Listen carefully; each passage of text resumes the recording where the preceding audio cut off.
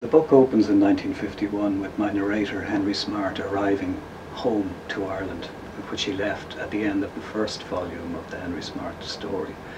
Uh, he had to leave Ireland in 1921 because um, he was going to be shot dead unless he did.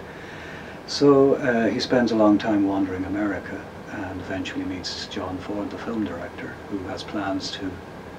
make a film set in Ireland based on Henry's life. So Henry's arriving um, in 1951 with John Ford and John Wayne and Maureen O'Hara and the cast and crew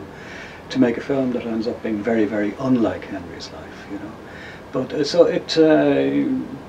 the first volume is Henry in Ireland has to get out of Ireland. Second volume was Henry out of Ireland, and uh, the third volume is Henry back in Ireland, and uh, how his life impacts upon uh, more recent Irish history because he's been involved with uh, big moments in Irish history in the early 20th century and this, about him, this is about him being more involved accidentally uh, rather than anything else in, in big history in the latter half of the 20th century.